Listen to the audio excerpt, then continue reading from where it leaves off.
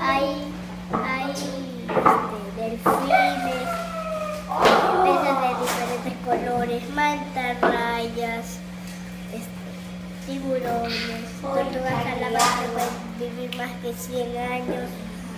Este, también hay este, pingüinos, iguanas, pájaros, delfines,